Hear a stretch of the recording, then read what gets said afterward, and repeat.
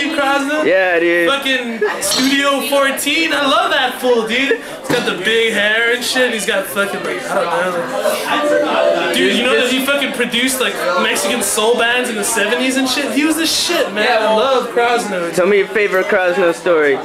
Ten seconds or less. I don't know, man. Uh, didn't he get his hair on fire or something like Michael Jackson or some shit like that? That's that's the rumor, dude. That's what I heard. That's my favorite story. Crosno, every fucking morning and Saturday morning, he'd come out with Studio 14, fucking jamming.